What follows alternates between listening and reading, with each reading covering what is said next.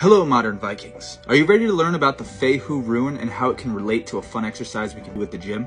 This is the first episode of a series I'm going to call the Runes of Strength.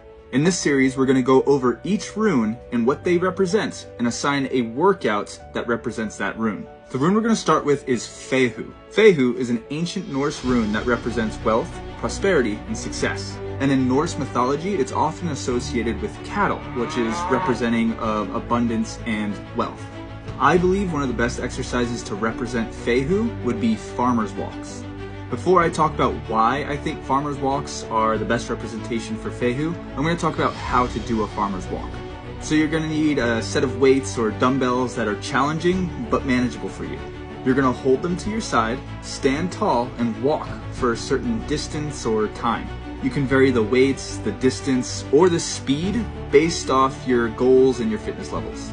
I believe farmers' walks represent the spirit of the Fehu rune because it's all about carrying a heavy load with determination and purpose towards a better and stronger version of yourself, which frankly leads to abundance and wealth.